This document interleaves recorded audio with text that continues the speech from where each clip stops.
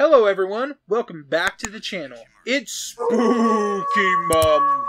And to ring in the season, EA unveiled their Dead Space remake trailer a few days ago, and it looks freaking amazing! The team behind the game is doing a stellar job, and I can't wait to jump into it. Dead Space is a great series, and I'm glad to see it make a return. The most I could have hoped for was a port of all three games to modern consoles. Never in my wildest dreams did I ever expect a remake especially when EA did so much damage to the brand, ruining the original concept of the game, turning it from a creepy psychological horror to a mow everything down action game. But that's not what we're here to talk about. Today, we're here to cover the collector's edition, the pros, the cons, and if I think it's worth the money. Obviously, it comes with a game, in physical form, on the PS5 and Series X. For PC, it would be a digital code. Original soundtrack on CD, lithographic print of Isaac Clarke, a foil stamped lithograph, a steelbook case, four mini posters, Ishimura patch, a marker enamel pin, and a 4 inch metal marker statue. Lastly,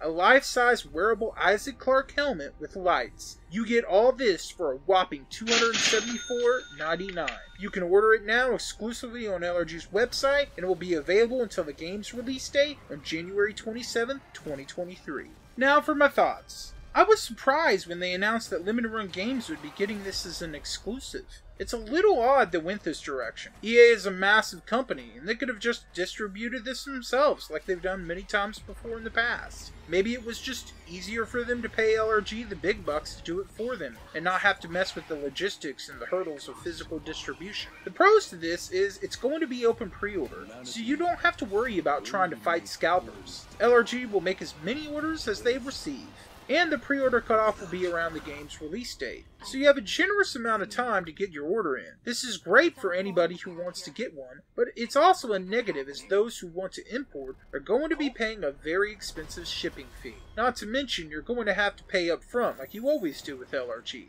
and you'll be waiting a long time to actually get your collector's edition. Limited Run Games said they would be shipping the game separately from the CE so that everybody could play it on release. That's pretty cool of them, but I would take that as a grain of salt. As someone who's purchased many of their releases over the years, it takes about a week or longer for me to actually get a package from them in the US. Seeing as this isn't a proper collector's edition with a game housed in the box, I don't know why LRG isn't making a version that you could purchase without the game for $70 cheaper. That way, if you want to do a store pickup, midnight release, or buy it digitally and still get cool stuff, you can. Sounds like a missed opportunity. So fair warning if you buy this from LRG, you're not going to be playing it on release. So watch out for those spoilers.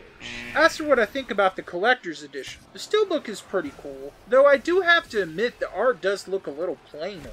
I would have preferred the art that's on the collector's wow. edition box as the steelbook, and the artwork on the steelbook as the box. The helmet, I'm unsure about. I've seen LRG staff wearing it in a few pictures, and it kind of looks cool. But then at the same time, it does look really plasticky. I don't know how the lights work. Is it battery operated? Is it rechargeable through USB? How strong are the lights in the daylight and in the dark? Are there different effects like flickering or is it just one static light? Is there any moving parts to it or is it just one solid piece? There's not really much information to go on when it comes to it. Speaking for me, having a big ass head, I'm most likely not even going to be able to wear it, so I don't really care about it. I do like the miniature marker statue. That's pretty cool. I appreciate the physical soundtrack as well. But aside from that, everything else, I don't like it. The posters and lithographs have cool art, but I would have much preferred a hardback art book that has art from both the original and the remake, developer interviews, behind the scenes insight, etc. The other half of the book could have been a full guide walkthrough, maybe an exclusive Blu ray making of the game. There's lots of cool things they could have put in this collector's edition instead. I personally feel like a lot of this stuff is by the number basic AAA junk. Nothing really spectacular stands out for me. At $275 plus tax and shipping, that's going to make it well over 300 in the US alone. And I don't even want to know how much for other countries. I can only speak for myself when I say this, but it's definitely a hard pass for me. I'd much rather put my money to other games over this. But I do hope those who purchase this really enjoy it and have a lot of fun with it. Regardless which version of this game you go with, you're gonna have a spooky dookie time.